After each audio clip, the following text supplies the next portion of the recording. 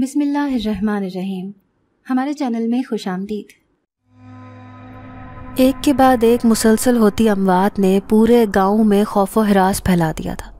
मरने वालों की हालत देखकर, मौत से पहले की सख्ती और तकलीफ़ महसूस करके, सबका ही कलेजा कट के मुँह को आने लगा था। हर किसी को ये खौफ खाया जा रहा था कि कहीं अगली बारी उसी की ना हो। क्योंकि अब यह भी यकीन हो चला था कि जो कोई भी है, उसका मुकाबला तो नामुमकिन है। यकीनन वो कोई बहुत भारी ताकत रखता है। बस स्टॉप से आगे दस मिनट का रास्ता था। ऊँची नीची पगडंडी के साथ एक कुआँ था, जो गाँव के शुरू में आता था। उसके बाद गाँव की हदूद शुरू हो जाती थी। उसे पैदल ही गाँव तक जाना था, क्योंकि बस स्टॉप के बाद कोई भी सवारी नहीं मिलती थी। तेज धूप में चलना उसके लिए दुश्वार हो रहा था। पसीने से उसका बुरा हाल था। प्यास से उसका गला सूख चुका था। गाँव से थोड़ी ही दूर उसकी नज़र एक कुएँ पर पड़ी। जिसे देखकर वो खुश हो गया। उसने अपनी रफ्तार तेज कर दी, ताकि जल्द से जल्द वहाँ पहुंचकर अपनी प्यास बुझा सके। वो कुएँ से पानी भरने ही लगा था कि उसकी नज़र करीब ही रखे एक घड़े पर पड़ी। उसने दिल में सोचा कि घड़े में पानी ठंडा होगा, क्यों ना यहाँ से पानी पी लूँ? ये घड़ा वहाँ पर मुसाफिरों के लिए पानी पीने के लिए रखा गया था। घड़े में वाकई पानी ठंडा था। उसने जी भरकर पानी पिया। वो पानी पी कर अभी फारिग ही हुआ था कि उसे अपने पीछे किसी की मौजूदगी का एहसास हुआ। उसने जब पलट कर देखा तो वहाँ एक खूबसूरत दोशेजा खड़ी थी। उससे ज़्यादा खूबसूरत लड़की उसने अपनी सारी ज़िंदगी में नहीं देखी थी। वो चंद लम्हे उसे देखता ही रहा। दोशेजा ने अपना दुपट्टा अपने चेहरे के आगे कर लिया। तब उसे अपनी गलती का एहसास हुआ और उसने नज़रें झुका ली। अचानक उसके जहन में ख्याल आया। जब वो इस कुएँ के पास पहुँचा था, तब तो आसपास कोई भी नहीं था। गहरी खामोशी फैली हुई थी। फिर ये लड़की अचानक कहाँ से आ गई? मुझे आपकी मदद की ज़रूरत है। अचानक उस लड़की की आवाज़ सरमद के कानों में पड़ी। उसकी आवाज़ भी उस लड़की की तरह खूबसूरत थी। सरमद उसकी मदद करने के लिए दिलो जान से हाजिर हो गया। मैं आपकी क्या मदद कर सकता हूँ? दरअसल मेरी अम्मी बहुत ज़्यादा बीमार हैं। उनकी तबीयत बहुत ख़राब है। मेरे लिए उन्हें अकेले बस स्टॉप पर ले जाना मुश्किल है। क्या आप मेरे साथ मेरे घर चलकर मेरी मुश्किल आसान कर सकते हैं? उस दोशेजा ने नहायत दुखी आवाज़ में कहा, आपका घर कहाँ पर है? सरमद ने उससे पूछा। लड़की ने जंगल की तरफ़ इशारा किया। कहने लगी, उस जंगल में एक झोंपड़ी है। हम थोड़ा वक्त पहले ही इस जगह पर आए हैं। दरअसल मेरे बाबा एक ज़रूरी काम से शहर गए हुए हैं। अगर वो घर में होते तो मैं कभी भी आपको तकलीफ़ नहीं देती। सरमद उस लड़की के साथ चलना शुरू हो गया। उस लड़की की पायल की छन छन बार बार सरमद को अपनी तरफ़ मतवजा कर रही थी। थोड़ी दूर जाने के बाद सरमद का दिल घबराने लगा। उसे कोई अनहोनी होने का एहसास होने लगा, क्योंकि वो दोनों चलते चलते जंगल में काफ़ी दूर आ गए थे। लेकिन अभी तक किसी झोंपड़ी का नामो निशान ज़ाहिर नहीं हुआ था। सरमद की छठी हिस्स बहुत तेज थी। जब भी कोई गड़बड़ होती, सरमद को फ़ौरन पता चल जाता। पता नहीं क्यों उसे लग रहा था कि ये लड़की उससे झूठ बोल रही है। लेकिन अब वो काफ़ी आगे आ चुका था। आपका घर कितना दूर है? सरमद ने पूछा। बस थोड़ा ही आगे। वो लड़की सरमद से कहने लगी। लेकिन इस बार उसकी आवाज़ काफ़ी अजीब और भारी थी। उसकी पायल की छन छन बार बार सरमद की तवज्जो भड़का रही थी। जैसे ही सरमद की नज़र उसके पाँव पर पड़ी सरमद को लगा वो अगली सांस नहीं ले पाएगा।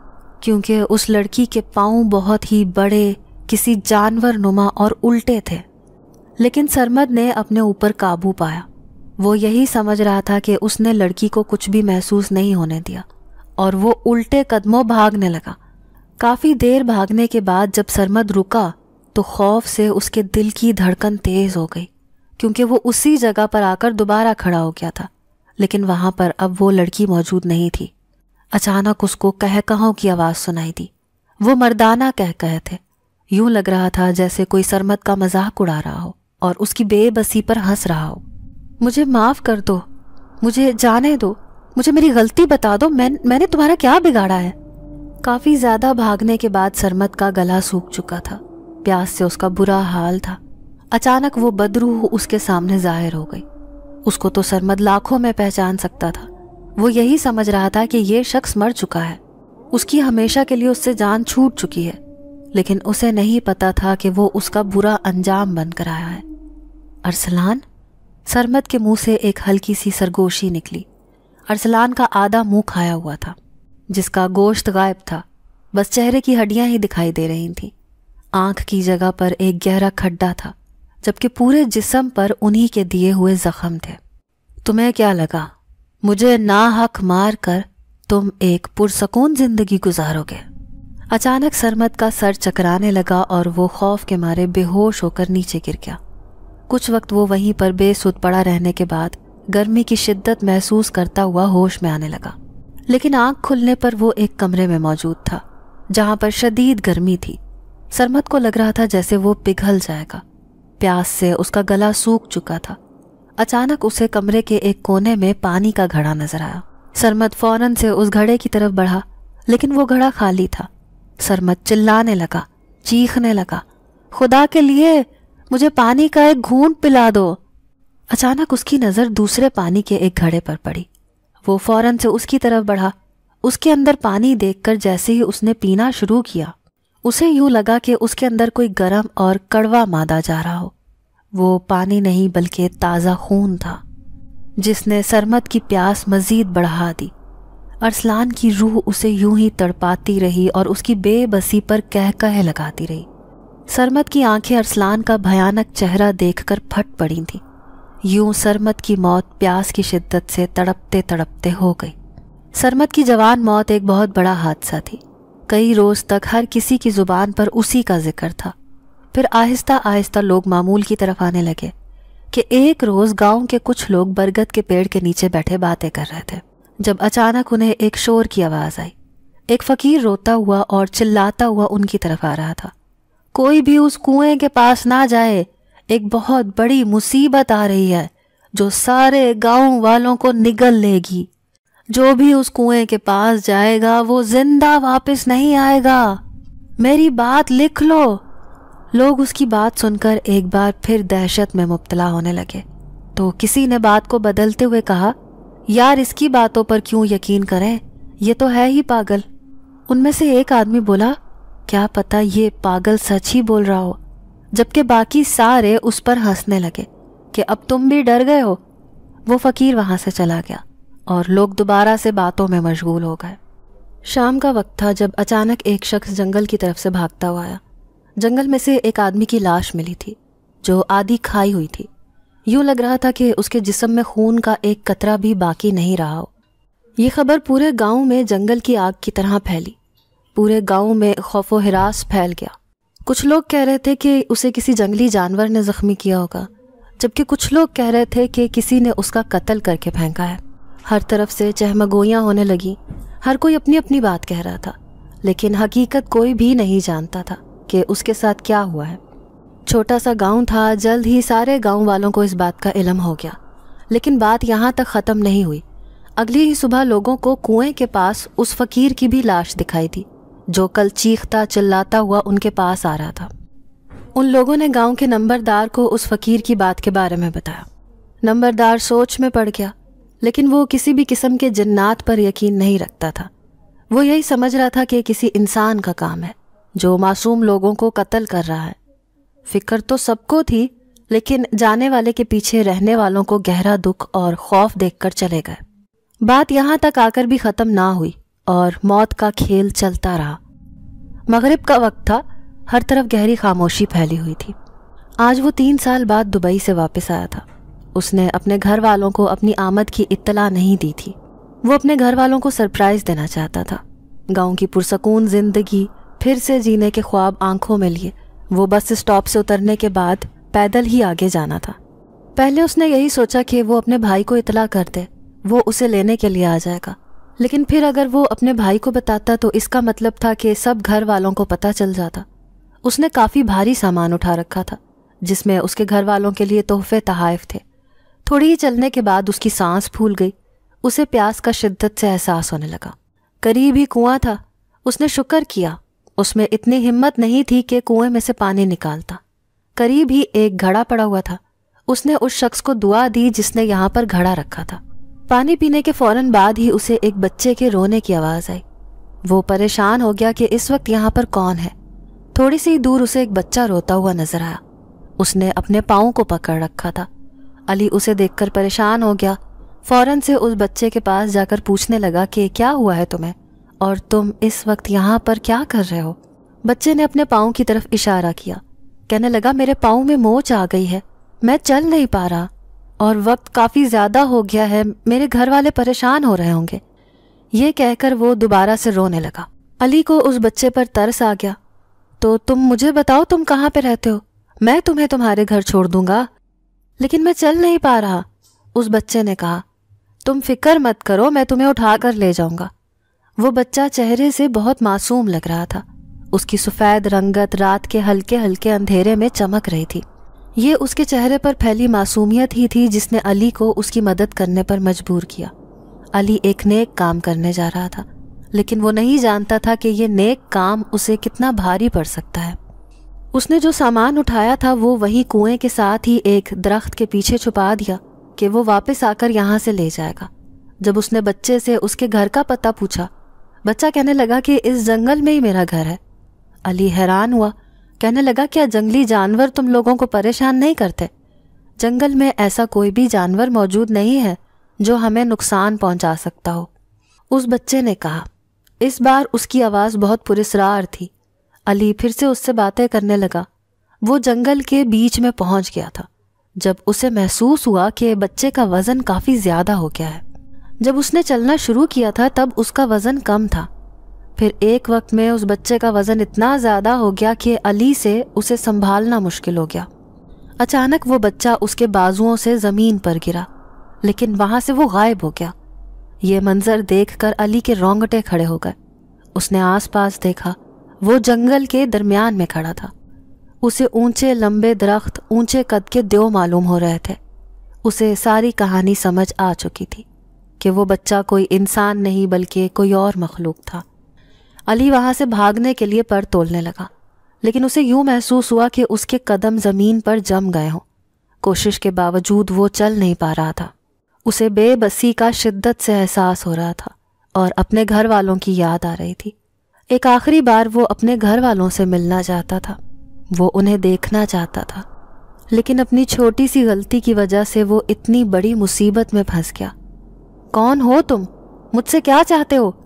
अली ऊँची ऊँची आवाज़ में चिल्लाने लगा। तुम्हारी मौत हूँ, तुम्हारी ज़िंदगी चाहता हूँ।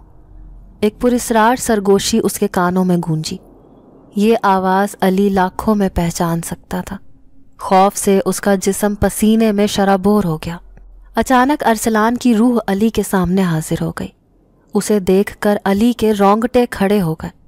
अली उसे माफ़ी मांगने लगा। उसके पाँव पड़ने लगा, लेकिन उसके जवाब में अरसलान सिर्फ़ कह कह लगा रहा था, उस वक्त मैं भी इतना ही बेबस था, मैं भी ऐसे ही तुमसे माफ़ी मांग रहा था, लेकिन तुमने मुझे माफ़ नहीं किया। एकदम अरसलान की आँखें तैश से लाल हो गई। खौफ से अली ने आँखें बंद कर ली। जब उसने अपनी आँखें खोली तो उसने देखा कि वो अपने घर में मौजूद था, जबकि उसके खानदान वाले उसके आसपास घूम रहे थे। अली को कुछ समझ नहीं आ रहा था कि उसके साथ ये सब क्या हो रहा है। अली सोचने की कोशिश कर रहा था। वो बच्चा, वो जंगल और अरसलान की रूह, क्या वो सिर्फ़ एक ख्वाब था? अली ने अपने घर वालों को आवाज़ दी, लेकिन यूँ लग रहा था कि कोई भी उसकी आवाज़ सुन नहीं पा रहा था। अचानक से उसकी बहन अंदर से आई। उसका चेहरा बिल्कुल स्पाट था। उसके चेहरे पर किसी भी किस्म के कोई तासुरात ना थे। उसकी बहन ने उसे एक मशरूब दिया। अली ने पूछा कि इसमें क्या है? उसकी बहन ने कोई जवाब ना दिया और वैसे ही कमरे के अंदर चली गई, जैसे वो कमरे से बाहर आई थी। अली ने जैसे ही वो मशरूब पिया, उसे शदीद प्यास का एहसास होने लगा। वो मशरूब गर्म और कड़वा था। अली के मुँह का जायका बहुत ख़राब हो चुका था। उसे प्यास की शिद्दत महसूस होने लगी। प्यास नाकाबिले बर्दाश्त थी। वो फ़ौरन अपनी चारपाई से उठा और पानी ढूँढने लगा। लेकिन कहीं भी उसे पानी नहीं मिल रहा था। वो अपने सब घर वालों को आवाज़ें दे रहा था और उनसे पानी मांग रहा था, लेकिन कोई भी उसकी आवाज़ नहीं सुन रहा था। उसे अपनी माँ रोटी बनाती हुई नज़र आई, जैसे ही वो अपनी माँ के पास पहुँचा और उसके कंधे पर हाथ रखा, उसकी माँ ने अपना चेहरा अली की तरफ़ घुमाया और उसे देखकर अली की चीखें निकल गई, क्योंकि वो उसकी माँ नहीं बल्कि अरसलान था। अली को पता चल गया था कि वो अपने घर में मौजूद नहीं है। बल्कि ये अरसलान का बनाया हुआ एक खेल था। अचानक उसके तमाम घर वालों की शक्लें अरसलान की शक्ल में तब्दील हो गई। अली उससे भीख मांग रहा था कि उसे पानी का एक घूंट दे दो, वरना वो मर जाएगा। लेकिन अरसलान उसकी बेबसी पर हंस रहा था कह कहे लगा रहा था। अली को समझ नहीं आ रही थी कि वो क्या कर रहा है। अली घर से बाहर निकला और भागना शुरू कर दिया। अचानक उसे एक नहर नज़र आई। जैसे ही वो नहर के पास पहुँचा और पानी पीने लगा, उस नहर का पानी खून में तब्दील हो गया। अली ने एक जोरदार चीख मारी और प्यास की शिद्दत से बिलक बिलक कर रोने लगा, जिसने अली की प्यास को मजीद शिद्दत बख्शी। अली ज़मीन पर तड़पने लगा, जैसे कोई मछली बिन आप के तड़पती है। और यूँ ही प्यास से तड़पते तड़पते उसकी मौत वाक़ हो गई। उसकी हालत देखकर अरसलान मुस्कुराया और फिर वहाँ से गायब हो गया। अली के घर वालों को उसके दोस्त ने बता दिया था कि अली घर के लिए निकल आया है। आज ही वो पहुँच जाएगा, जबकि उसके घर वाले बड़ी बेसब्री से उसका इंतज़ार कर रहे थे। वो उससे बात करने के लिए, उसे गले लगाने के लिए बेताब थे, लेकिन वो नहीं जानते थे कि वो अली का मरा हुआ मुँह देखेंगे। अचानक से उसकी माँ को अली की फ़िक्र होने लगी। उन्होंने अपने छोटे बेटे को भेजा। कि वो स्टेशन से पता करके आए। लेकिन जैसे ही अली का भाई कुएँ के पास पहुँचा, खौफ से चिल्लाने लगा, क्योंकि उसके भाई का मुर्दा वजूद कुएँ के पास पड़ा था। पूरे गाँव में सोग का समा था। अली इतने अरसे बाद वापस आया था, लेकिन अपने घर वालों से मिल नहीं पाया। अब वो कुआँ भी पुरस्रार मशहूर हो चुका था। लोगों ने उस कुएँ से पानी लाना छोड़ दिया था। सबको यही लगता था कि वो फकीर सच ही बोल कर गया है। इसी वजह से उसकी मौत हो गई है। ये चौथी मौत थी जो उस कुएँ के पास हुई थी, और ये कोई आम बात नहीं थी जिसको सब भूल जाते। लोगों ने गाँव के नंबरदार से बात की तो उसने गाँव में पुलिस बुलवा ली, ताकि पता लगा सके कि ये किसका काम है। पुलिस तीन दिन वहाँ पर पहरा देती रही, लेकिन कोई भी हादसा पेश ना आया। महकमा जंगलात वालों को भी खबर पहुँच चुकी थी। उन्होंने आकर सारे जंगल में छानबीन की। लेकिन कोई भी भेड़िया वहाँ पर मौजूद नहीं था। और ना ही कोई ऐसा जंगली जानवर मौजूद था जो लोगों का कत्ल कर सकता। लोगों का इस बात पर यकीन पुख्ता हो गया कि ये ज़रूर किसी बदरूह का काम है। इसी गाँव में सारा का नन्याल था। सारा अपनी माँ से मुसलसल जिद कर रही थी कि मैंने छुट्टियाँ नानों के घर में गुजारनी है, जबकि उसकी माँ उसके लिए फिक्रमंद हो रही थी कि वो कैसे गाँव में रहेगी। लेकिन सारा उनकी कोई भी बात सुनने को तैयार नहीं थी। वो हमेशा ऐसे ही करती थी। जब तक अपनी जिद ना मनवा लेती, तब तक सुकून से नहीं बैठती थी। और अभी भी उसकी माँ ने उसकी जिद मान ली थी। सारा बहुत खुश थी। कल ही उसे गाँव के लिए निकलना था। दिल में ना जाने उसने क्या क्या सोच लिया था। कि गाँव में जाकर ये भी करना है, वो भी। सारा अपने वालदेन की इकलौती बेटी थी। इस वजह से वो अपने माँ बाप की बहुत लाडली थी। उसकी कोई भी ख्वाहिश उसके मुँह से निकलने से पहले ही पूरी हो जाती। जिसने उसे जिद्दी और नकचड़ा बना दिया था। सारा का रिश्ता बचपन में ही उसके कज़न से तय हो गया था। वो उसका बिल्कुल उलट था। सारा चुलबुली और शरारती थी, जबकि वो बहुत संजीदा मिजाज और बहुत गहरा इंसान था और बग़ैर ज़रूरत के बात नहीं करता था। सारा अक्सर सोचती कि इस इंसान के साथ उसका गुजारा कैसे होगा, लेकिन ये उसके माँ बाप का फैसला था जिसने उसे कबूल कर लिया था। वो अपनी दुनिया में गुम रहता था वो बहुत ज़्यादा इलम रखता था, जिसका वो आमिल बनना चाहता था। वो अपने घर में अक्सर अकेला कुछ पढ़ता रहता था। यही वजह थी कि वो लोगों से बहुत कम मिलता था, और इसीलिए सारा को वो अजीब लगता था। सारा के अब्बू ने उसे गाँव के स्टेशन तक छोड़ने जाना था। उससे आगे सारा का कज़न लेने के लिए आता। सारा बहुत पुरजोश थी। अगले ही दिन वो अपनी माँ की दुआओं में घर से निकली। जैसे ही वो बस स्टेशन से उतरी, उसका कज़न पहले से ही आगे खड़ा था। अपने कज़न को देखकर उसे खुशगवार हैरत हुई।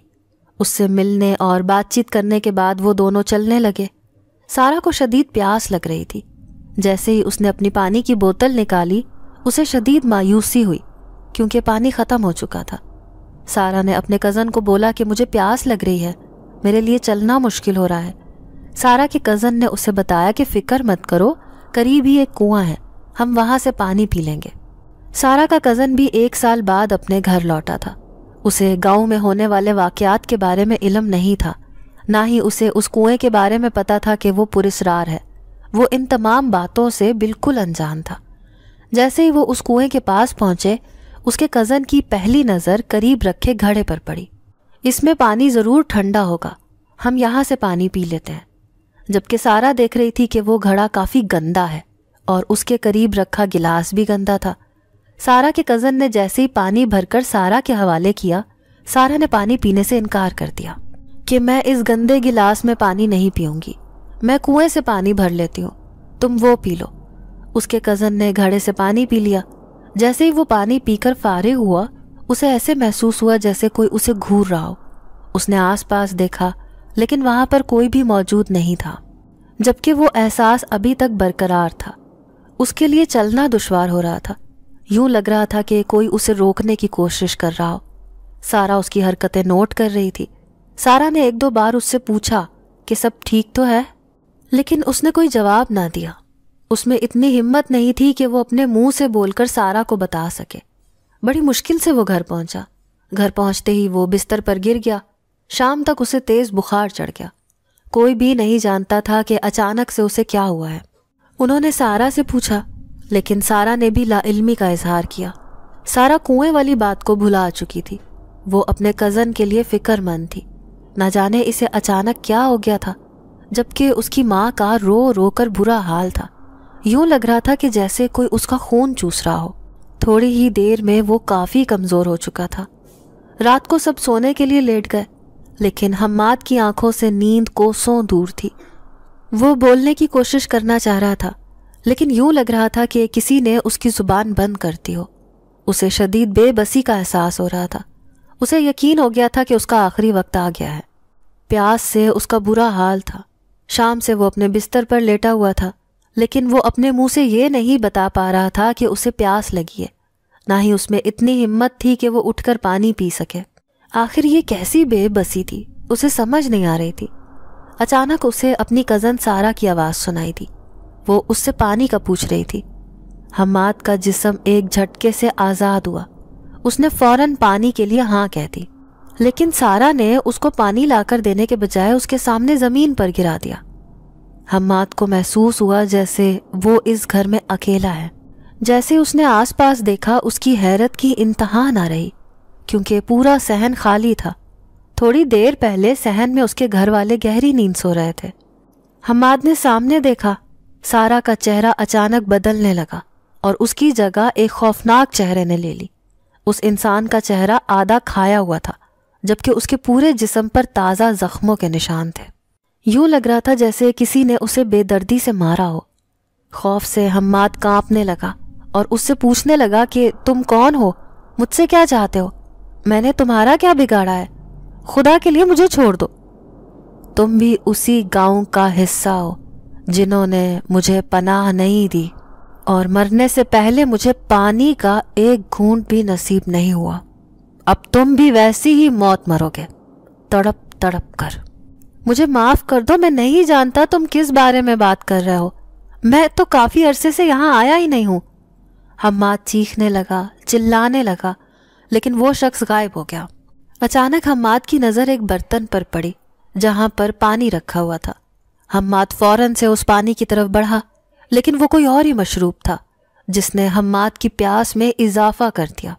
हम्माद यूँ तड़पने लगा और यूँ प्यास से तड़प तड़प कर उसकी मौत हो गई। सारा की आवाज़ एक शोर पर खुली। ये अजीब व गरीब शोर था। यूँ लग रहा था जैसे बहुत सी औरतें रो रही हो। सारा को समझ नहीं आ रही थी कि क्या हो रहा है।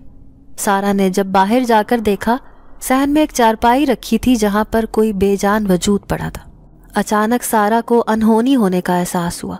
वो फ़ौरन भागती हुई बाहर गई, लेकिन जैसे ही उसकी नज़र उस वजूद पर पड़ी, सारा को लगा वो अगला सांस नहीं ले पाएगी। वो उसका कज़न था, लेकिन उसकी हालत इतनी बदतर हो चुकी थी कि उसे पहचानना मुश्किल हो रहा था। कल ही की बात थी, वो बिल्कुल तंदुरुस्त था, उसे कोई भी मसला नहीं था। फिर अचानक उसकी मौत कैसे वाक़ हो गई? अचानक उनमें से एक औरत बोली, ज़रूर इसने कुएँ का पानी पिया है, क्योंकि पहले जो अमवात हो चुकी हैं, उनका ऐसा ही हाल हुआ था, जैसा तुम्हारे बेटे का हुआ है। अचानक सारा के दिमाग में एक बात क्लिक हुई कि कहीं ये उसी कुएँ की बात तो नहीं कर रही, जहाँ से सारा और हम्माद ने पानी पिया था। अगर ऐसी कोई बात होती तो सारा की भी मौत वाक़ होती, जबकि वो तो बिल्कुल ठीक थी। उस वक्त सारा ने किसी से भी इस बात का ज़िक्र नहीं किया। जब उसके कज़न की मौत को चंद दिन गुजर गए तो उसके बाद एक दिन उसने अपनी नानी से बात की कि वो औरत किस कुएँ के बारे में बात कर रही थी। तब उसकी नानी ने उसे बताया कि इस गाँव के शुरू में एक कुआँ आता है। सुना है कि जो भी उस कुएँ से पानी पीता है, उसकी मौत वाक़ हो जाती है। लेकिन अगर ऐसी कोई बात होती तो मैंने भी उस कुएँ का पानी पिया था, लेकिन मुझे कुछ भी नहीं हुआ। मैं आपके सामने हूँ, सारा ने अपनी नानी से कहा। उसकी नानी बोली कि मुझे इन अफवाहों पर यकीन नहीं है। मुझे लगता है कि ये कोई और ही चक्कर है। लेकिन समझ नहीं आ रहा कि इसका पता कैसे लगाया जाए और इसे कैसे रोका जाए। पुलिस भी अपना काम कर चुकी है। महकमा जंगलात वालों को भी हम यहाँ पर बुला चुके हैं। लेकिन ये मसला किसी भी सूरत हल नहीं हो रहा। अब ये मसला मैं हल करूँगी। सारा ने दिल ही दिल में सोचा। उसे शुरू से ही एडवेंचर का बहुत शौक था। उसे यहाँ पर आए काफ़ी दिन गुजर चुके थे। इस दौरान उसकी एक लड़की से दोस्ती हो चुकी थी। उसका घर उसकी नानी के घर से थोड़ा ही करीब था। उसने अपनी दोस्त से बात करने का फैसला किया कि हम दोनों पता लगाएँगे आखिर चक्कर क्या है। क्या तुम मेरा साथ दोगी? उसकी बात सुनकर रानो बोखला आ गई, क्योंकि वो बहुत डरपोक थी और इन अफवाहों से वो मजीद खौफजदा हो गई थी। उसने सारा का साथ देने से इनकार कर दिया। लेकिन सारा ने उसे जज्बाती किया और अपने साथ मिला लिया। लेकिन अब सारा को इस बात की समझ नहीं आ रही थी कि वो कैसे अपनी नानी के घर से निकले। क्योंकि जब भी वो अपनी दोस्त के घर जाती थी, उसके साथ उसका एक कज़न जाता था। नानी ने उसे ज़्यादा दूर जाने से मना किया हुआ था। उसने अपनी नानी से बहाना किया कि रानो का एक बाग है। आप थोड़ी देर के लिए हमें वहाँ जाने की इजाज़त दे दें, हम जल्द वापस आ जाएँगे। लेकिन नानी ने इनकार कर दिया। फिर एक सूरत उसे जाने की इजाज़त मिली। उसे अपने एक कज़न को साथ लेकर जाना था। सारा ने उस कज़न को थोड़े पैसे दिए और नानो को बताने से इनकार कर दिया और अकेली ही रानो के साथ वहाँ से चली गई। रानो बहुत खौफजदा थी। उसकी टांगे काँप रही थी। वो बार बार सारा को कह रही थी कि अभी भी वक्त है। हम वापस चले जाते हैं। कहीं कुएँ की बदरू हमें भी जान से ना मार दे। जबकि सारा उसकी बातों को मज़ाक में उड़ा रही थी। वो कुएँ से थोड़ी दूर थी कि रानो रुक गई। कहने लगी, मैं आगे नहीं जाऊँगी। सारा उसे अपने साथ ज़बरदस्ती लेकर गई। रानो से कहने लगी कि हम थोड़ा वक्त यहाँ पर गुजारेंगे, फिर हम यहाँ से चले जाएँगे। जबकि रानो की हालत ऐसे हो गई कि काटो तो बदन में लहू नहीं, लेकिन सारा की वजह से वो मजबूर थी। उन्होंने काफ़ी देर वहाँ पर गुजारी। इस दौरान सारा आसपास देखती रही और सुराग ढूँढने की कोशिश करती रही कि आखिर ये काम कौन कर रहा है। लेकिन वो नाकाम हुई। थोड़ी देर बाद वो अपने घर वापस आ गए। अगले दिन वो रानो से मिलने के लिए गई। रानो को बताया कि देखो, अगर ऐसा कोई मामला होता तो हम भी मारे जाते। कल हमने कितना वक्त कुएँ के पास गुजारा, लेकिन हम अभी भी ज़िंदा हैं। इसका मतलब ये है कि कुएँ का मसला नहीं है, बल्कि मसला कोई और है जिससे हम सब अनजान हैं। उसकी बात पर रानो भी मुत्तफिक हो गई। उसका खौफ किसी हद तक कम हो चुका था। जबकि अगले ही दिन एक और खबर मिली कि एक लाश कुएँ के करीब से मिली है। गाँव वालों के लिए अब ये सब नाकाबिले बर्दाश्त हो रहा था। हर रोज़ वो अपने एक प्यारे को खोते जा रहे थे। जो भी उनसे मिलने आता, वो उस कुएँ के जुल्म का शिकार हो जाता। अब मजीद जुल्मों से तम वो बर्दाश्त नहीं कर सकते थे। उन्होंने एक आमिल को बुलवाने का फैसला किया, ताकि पता चलाया जा सके कि आखिर मसला क्या है। वो बहुत बड़ा और मशहूर आलम था। उसने कहा कि मैं आज रात ही यहाँ पर बैठकर अमल करूँगा और बहुत जल्द तुम लोगों को इस मुसीबत से जान छुड़वा दूँगा। रात ग्यारह बजे का वक्त था, वो आमिल उस जगह पर आ गया। माहौल में एक अजीब सी बेचैनी फैली हुई थी। खौफ से आमिल का दिल धड़कने लगा। ऐसा पहली बार हुआ था। आमिल अपनी कैफियत को समझ नहीं पा रहा था। या तो वो वाकई में डर रहा था या उसका हरीफ बहुत ज़्यादा ताकतवर था। अब आमिल एक ऐसा अमल करने जा रहा था, जिससे उसने ना जाने कितनी बदरूहों को काबू किया था। उससे पहले उसने अपनी हिफाजत के लिए अपने गले में अपने उस्ताद का दिया हुआ एक तावीज़ डाल दिया, ताकि कोई भी उसको नुकसान ना पहुँचा पाए। अभी आमिल ने अमल शुरू किया ही था कि अचानक कुएँ में शोर मिच गया। उसका पानी ज़ोर ज़ोर से उबल कर बाहर निकलने लगा। अचानक बहुत सारी बदरूहें आमिल के आसपास घूमने लगी और ऊँची ऊँची आवाज़ में रोने लगी। आमिल जानता था कि ये सब उसे फंसाने के लिए किया जा रहा है। उसने उन बदरूहों को मिटाने के लिए अमल किया, लेकिन उसका कोई भी अमल काम नहीं कर रहा था। अचानक बहुत सारा पानी आमिल के ऊपर आकर गिरा, लेकिन आमिल ने महसूस किया कि वो पानी नहीं, बल्कि गाढ़ा मादा था। अचानक एक अनजानी रोशनी आमिल के ऊपर पड़ी। उसने देखा कि वो पूरे का पूरा खून में नहाया हुआ था, जबकि खून में उसके जिसम पर मुख्तलिफ़ कीड़े चल रहे थे। वो आमिल ज़ोर ज़ोर से चिल्लाने लगा। वो इतना भी ताकतवर आमिल नहीं था जितना वो मशहूर हो गया था। इससे पहले उसने जितनी बदरूहों को काबू में किया था, वो मामूली ताकतों की मालिक थी। लेकिन ये बदरूह उसकी सोच से भी ज़्यादा ताकतवर थी। अचानक आमिल खुद ब खुद ज़मीन से ऊँचा होने लगा। वो हाथ पाँव मार रहा था और साथ ही उस बदरू से माफ़ी मांग रहा था। खुदा के लिए मुझे माफ़ कर दो। मुझसे बहुत बड़ी गलती हो गई। मैं आज के बाद मैं तुम्हें कभी तंग नहीं करूँगा, ना ही इस तरफ़ आऊँगा। इसके जवाब में उसे कहकहों की आवाज़ आने लगी। यूँ लग रहा था जैसे बहुत सारे मर्द और खातन मिलकर हंस रहे हों, उसकी बेबसी का मज़ाक उड़ा रहे हों। वो बदरू उसे काफ़ी देर हवा में घुमाती रही, लेकिन वो उसको कोई नुकसान नहीं पहुँचा सकती थी। इसकी वजह यह थी कि आमिल के गले में जो तावीज़ था, वो उसे हर मुसीबत से दूर रखने के लिए था। पूरी रात उसके साथ अजीब गरीब वाक़ात होते रहे। वो आधा पागल हो चुका था। जैसे ही फजर की अजान हुई, सब कुछ बंद हो गया। वो आमिल भागता भागता गाँव में आया। गाँव वालों को बताने लगा कि इस मुसीबत से निकलना मुश्किल ही नहीं, नामुमकिन है। तुम लोग एक बहुत बड़ी लानत का शिकार हो चुके हो। वो अपना इंतकाम लेने के लिए वापस आ चुका है। अब वो तुम में से किसी को भी नहीं छोड़ेगा। अपना बदला लिए बगैर वो इस गाँव से नहीं जाएगा। और उसका बदला तुम लोगों की मौत के बगैर पूरा नहीं होगा। वो मुझसे भी ज़्यादा ताकतवर है और ना जाने कितनी कुवतों का मालिक है। आमिल उसका मुकाबला नहीं कर सकता था। आमिल उस गाँव से भाग गया। शाम को जब सारा रानो के घर गई तो रानो ने उसे इस वाक्य के बारे में बताया। उस बदरू ने उस आमिल को भी भगा दिया। सारा ने इस वाक्य को मज़ाक में उड़ाया कि ऐसा कैसे मुमकिन हो सकता है। ज़रूर वो मज़ाक कर रहा होगा। या वो कातिलों के साथ मिल गया होगा। इस वजह से वो सबको डरा रहा है। उसने अभी तक इसी बात की रट लगाई हुई थी कि हम दोनों भी तो गई थी, लेकिन हमारे साथ ऐसा कुछ भी वाक्य पेश नहीं आया था। सारा की छुट्टियाँ खत्म हो चुकी थी। आगे उसके पेपर्स थे। अचानक सारा को फ़िक्र होने लगी कि उसने पूरा साल कुछ भी नहीं पढ़ा। अगर इस बार भी उसने कुछ ना पढ़ा तो वो ज़रूर फेल होगी। वो पढ़ाई में बहुत कमज़ोर थी। हमेशा ही पढ़ाई से भागती थी। लेकिन अपने माँ बाप की खुशी के लिए वो तालीम हासिल कर रही थी। उसने एकदम से शोर मिचा दिया कि मुझे घर वापस जाना है। लेकिन गाँव में कोई भी मौजूद नहीं था जो उसे घर छोड़कर आता।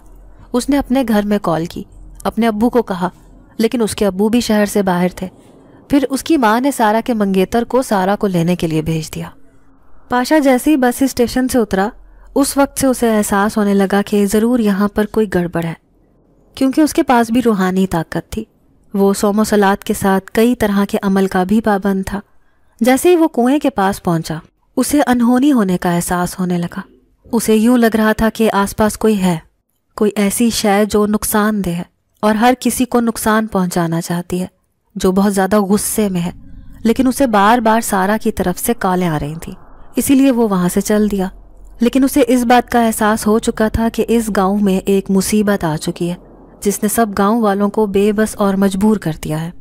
सारा पहले ही अपना सामान तैयार किए बैठी थी। वहाँ थोड़ी देर बैठने के बाद वो दोनों चल पड़े। पाशा ने सारा की हिफाजत के लिए पहले ही एक तावीज बना दिया था, जो सारा के गले में डाल दिया। जबकि सारा उसका मज़ाक बनाने लगी कि पढ़े लिखे होने के बावजूद तुम इन बातों पर यकीन रखते हो। पाशा उसकी किसी बात का बुरा नहीं मनाता था। वो जानता था कि सारा कम उम्र है, नादान है।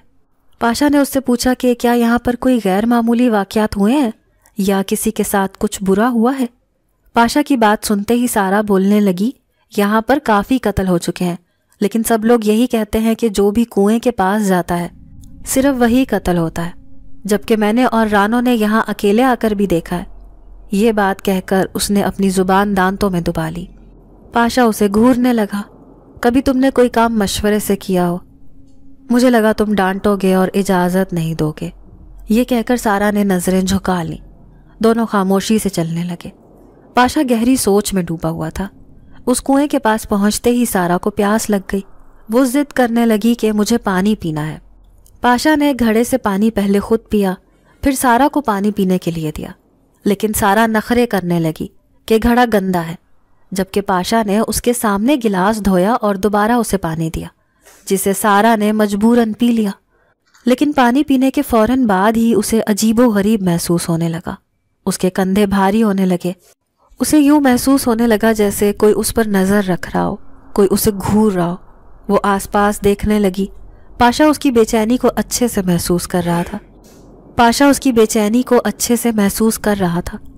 उसने एक दो बार सारा से पूछा कि क्या हुआ है?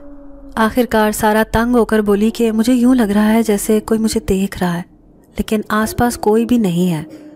पाशा गहरी सोच में डूब गया। कहा, फ़िक्र मत करो, ये तुम्हारा वहम होगा। यहाँ पर वाकई कोई भी नहीं है। लेकिन घर जाने तक सारा की बेचैनी बढ़ चुकी थी।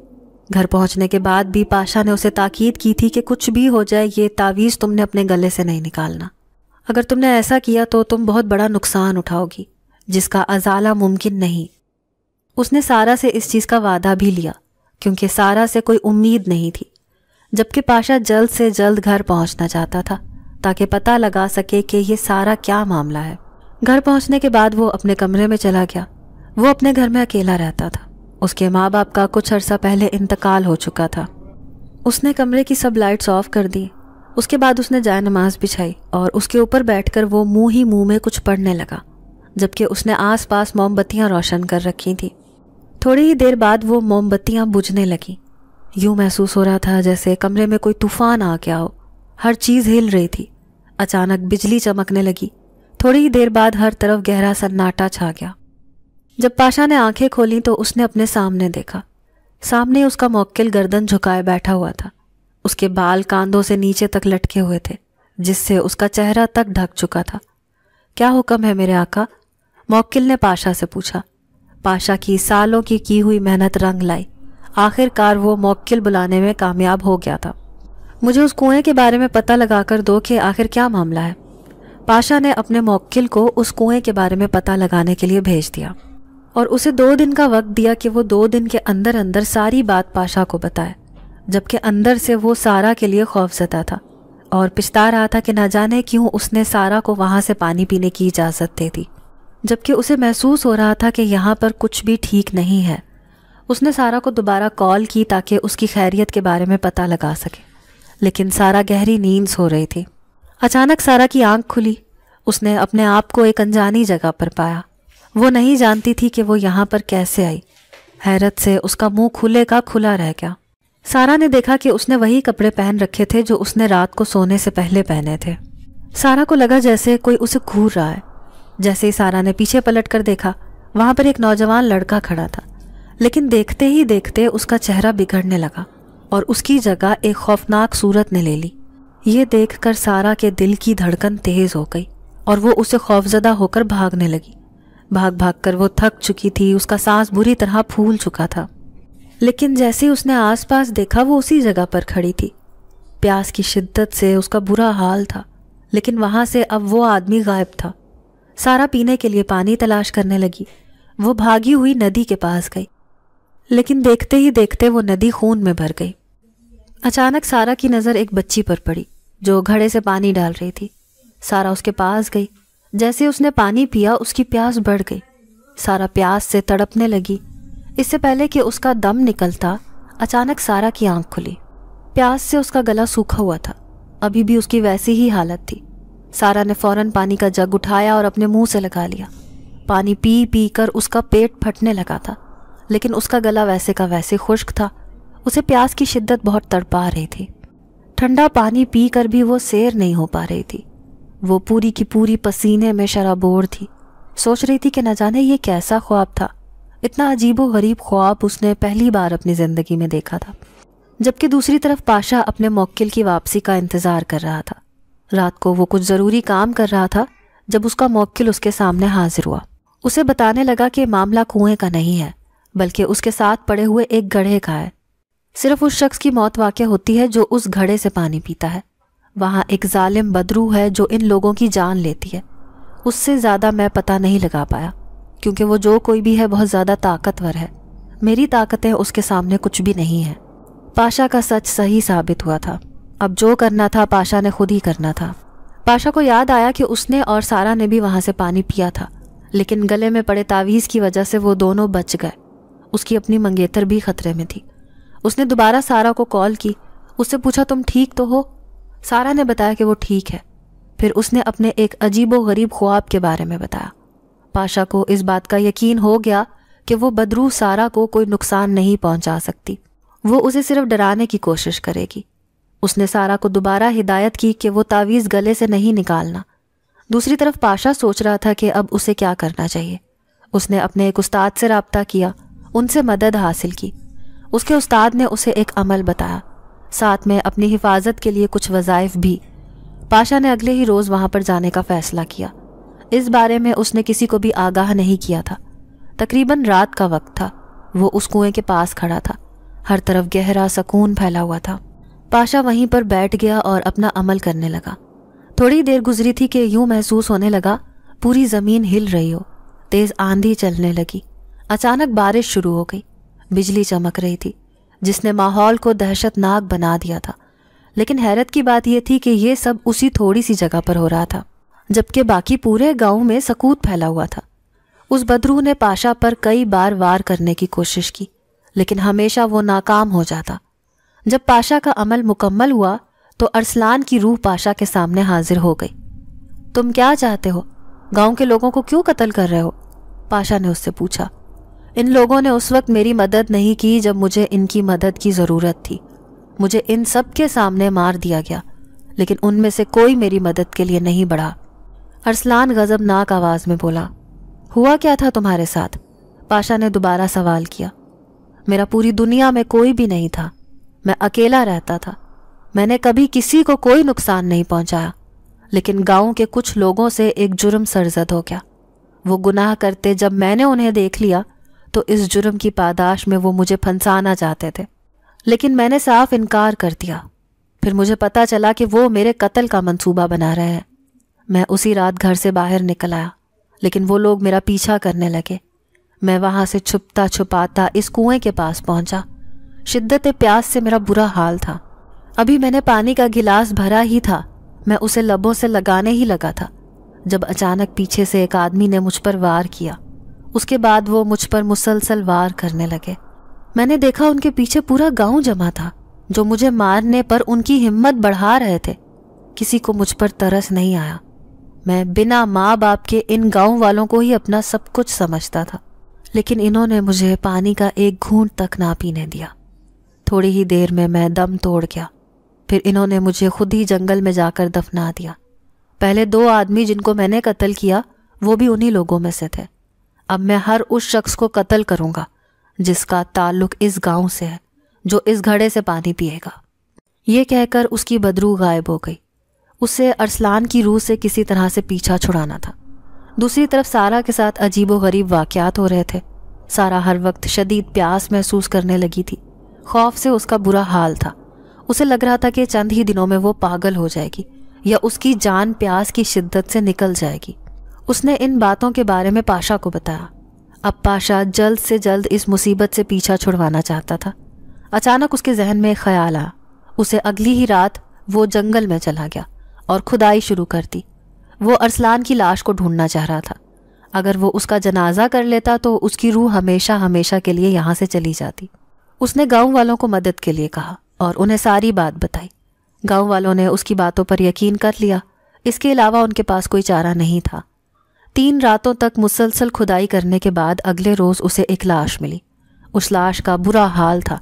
उसकी बदबू हर तरफ़ फैल गई।